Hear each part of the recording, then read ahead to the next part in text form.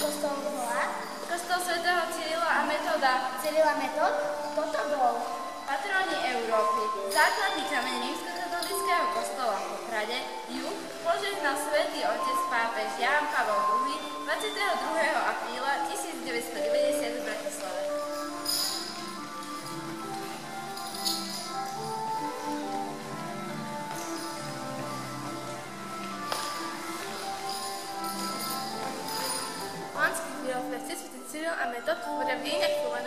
Slovákov jednu z najdôležitejších kapitol.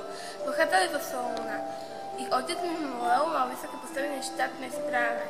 O matke nevieme nič. Metod, starší z bratov, sa narodil asi okolo roku 815. Metod bolo jeho reholené meno, krstným menom sa volal možno Michal. Cyril, najmladší z detí, sa narodil asi okolo roku 827. Krstným menom sa volal Konštantín.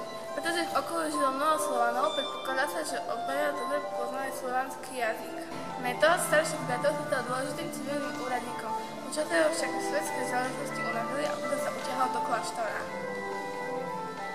Domov sa vrátili roku 860, keď sa byzantský panovník Michal III rozhodol vyhovieť požiadavky Orovského kniežaťa, aby mu na jeho území vyslal misionárov.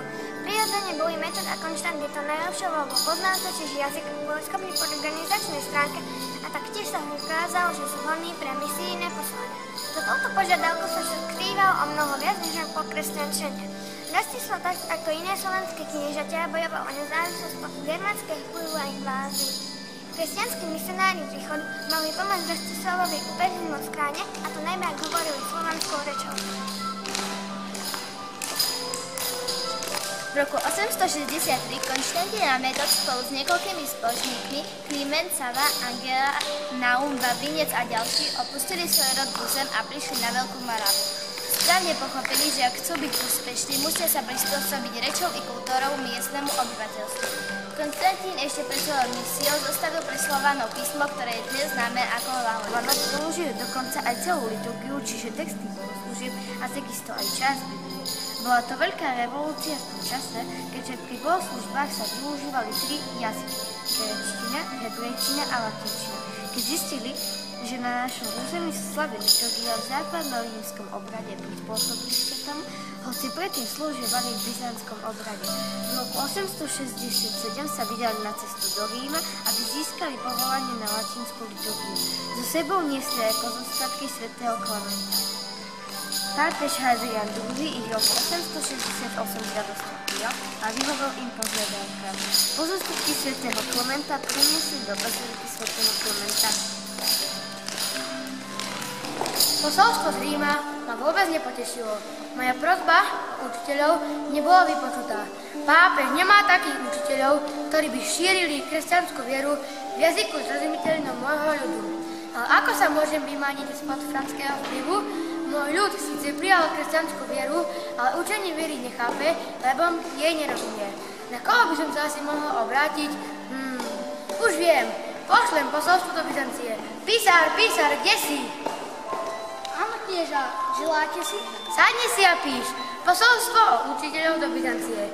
Drahý náš priateľ, vládca celej Byzantskej ríše, ja, knieža Rastislav, z Veľkej Moravy, ti posielam srdečné pozdravy. Ja i môj ľud sme síce prijali kresťanskú vieru od západných učiteľov, ale náuke viery nerozumieme.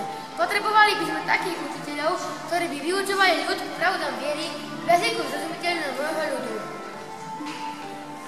Tak Rastislav uplatnil svoju starú zásadu. Ak nás nepríjmu na západe, obratíme sa na východ. Posolstvo v Byzancii bolo prijaté. Byzantský cisár Michal III vybral na túto dôležitú úlohu dvoch solunských bratov, Konštantína a Metoda. Oni pamätajú na slova svätého Petra. Boha sa bojte a cisára ctite. Prijali ponuku a začali sa pripravovať na tak náročnú misiu. Drahý brat Metod, tak toto je naša ďalšia spoločná misia. Veru tak, brat Konštantín. Náš cisár Michal III nám zveril túto veľmi dôležitú úlohu. Skutočne, ale taktiež aj veľmi namáhavo.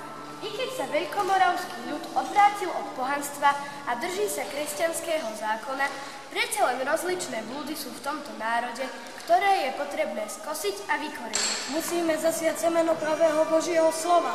Bez písma to však ale nie je možné, lebo písmo je Boží dar pre každý národ a Boh ho dá tomu, komu chce.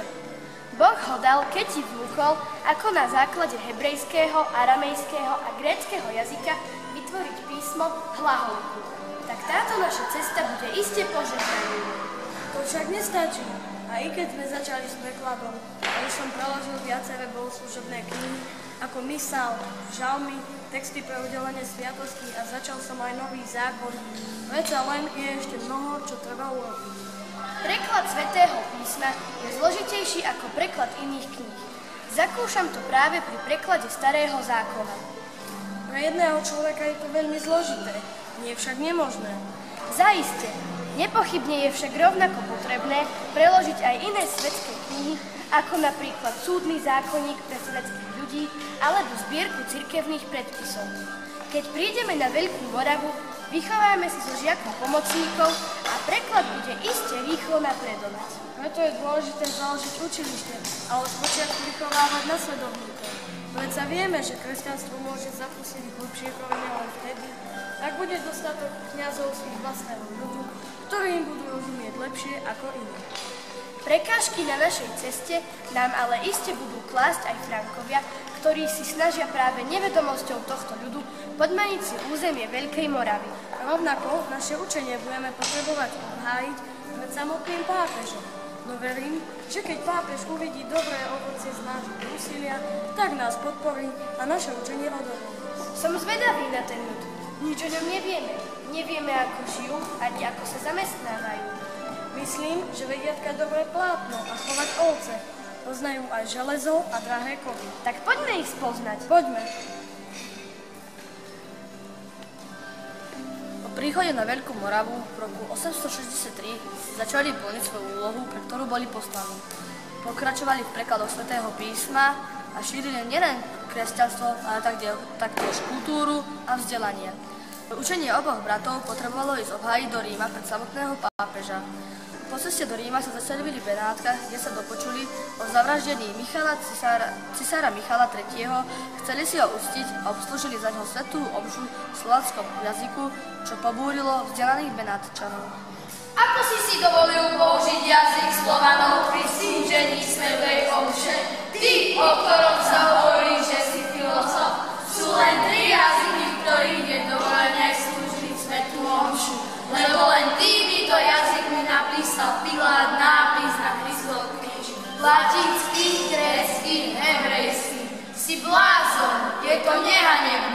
Počkajte, drahí bratia. Nechaj, čujme. Stište sa, nechajme. Nech sa obhájí. Nebudem sa brániť, ale pokúsim sa vysvetliť, prečo je bohoslužba v jazyku ľudí potrebná a Bohu veľmi milá. Svojim jazykom Boha chvália aj Arméni, Arabi či Sýrčania. Je dobré, že je to tak, pretože aj vo Svetom písme sa píše, nech ťa velebia všetky národy. Alebo či neprichádza dáš od Boha na všetkých rovnako, a či slnko nesvietí takisto na všetkých, či nedýchame vzduch všetci rovnako, a tak vy nehanbite sa, len tri jazyky uznávajúc a prikazujúc, aby ostatné národy a kmene boli slepé a hluché. Dva, povedzte mi, či robíte Boha bezmocným, že to nemôže dať, alebo závislivým, že to nechce. Zvážte teda, či sa protivím Božiemu príkazu, keď učím Slovanov ich vlastným jazykom, alebo skôr vy, ktorí neveríte, že Boh nechce nikoho nechať v temnote. Poď, brat môj, pokračujeme v našej ceste. Zhromaždenie zostalo ako neme, ale ich nechuť ku slovanskej reči neprestala trvať. Prišli do Ríma, kde ich slávnostne privítal pápež Adrian II. Ten schválil ich bohoslužobné postupy a knihy. V roku 868 vydal knihu Bulu Gloria in Excelsis Deo, v ktorej slávnosti ustanovil staroslovenčinu za štvrtý oficiálny liturgický jazyk popri hebrejčine, gréčtine a latinštine. Drahý môj brat, cítim, že môj koniec sa blíži. Spolu sme ťahali jeden púť a vyrovali sme plnú brázu. Viem, že túžiš po návrate do kláštora, ale nesmieš opustiť ľud, ktorý nám Boh zveril. Vráť sa na Moravu, vyučuj Moravanov a staraj sa o vinicu, ktorú sme spolu pestovali a s Božou pomocou vysádzali. Nebude to práca ľahká a plodov z tej vinice okusíš len málo, ale to dielo bude veľké a slávne. Áno, brat môj, máš úplnú pravdu, že túžim už aj ja po oddychu. Ale sľubujem ti, že budem pokračovať v započatom diele a vrátim sa na Veľkú Moravu do Velehradu.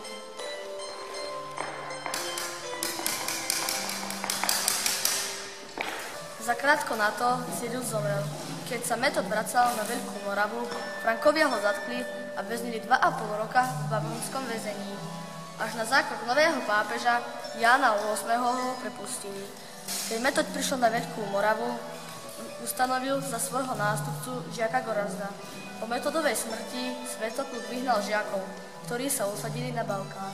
Napriek všetkým prekážkam sa istému mnichovi podarilo poslať do Ríma posolstvo, ako sa veci majú.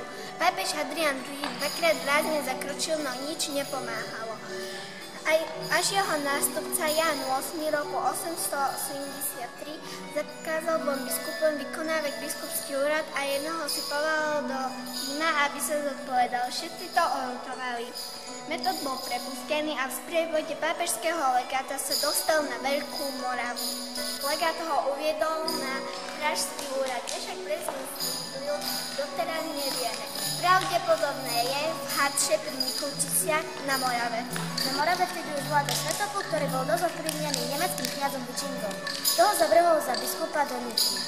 Metoda v Ríme obvinili, že neoprávnene používa slovenský jazyk v bohoslužbách a v niektorej náuke nie je právo verný. Metod musel do Ríma. Keď mu prikázali poslušnosť, Vičing metódovi stále kul intiky. Dokonca falšoval pápežské listy. Aj napriek tomu mal metód stály kontakt s Rímom a pápež mu bol prijaznivo naklonený. Existujú dokumenty, podľa ktorých pokrstil české knieže a jeho manželku Svetú. V roku 882 sa vybral do svojej vlasti na pozvanie byzantského cisára Bazila I. Ten ho prijal s veľkou radosťou a poctou. Metod však cítil, že mu ubúda síl. Chcel ešte dokončiť preklad svätého písma do staroslovenčiny. Vybral si k tomu zo svojich žiakov a v priebehu 8 mesiacov toto veľké dielo dokončil. Zomrel vo veku 70 rokov 6. apríla 885 tesne pred smrťou určil zo svojho nástupcu Gorazda jedného zo svojich učeníkov slovenského pôvodu. Miesto jeho smrti a hrobu bolo pravdepodobne hlavné mesto Veľkej Moravy, avšak nevieme určiť jeho polohu.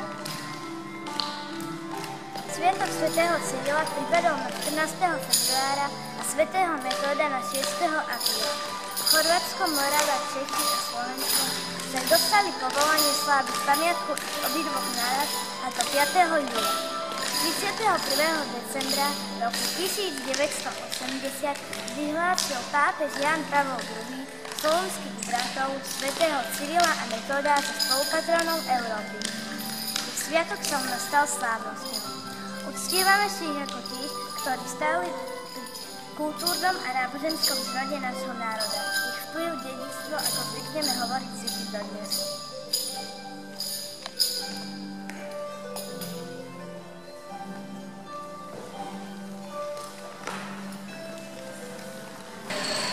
Čo Kika, vieš, že to bol svätý Cyril a Metod? Áno, viem. Tak kto to bol? Boli to zvierozvesci, ktorí nám nechali, zanechali na Slovensku vieru. Áno, keď budeš chcieť, môžeš so mnou do kostola.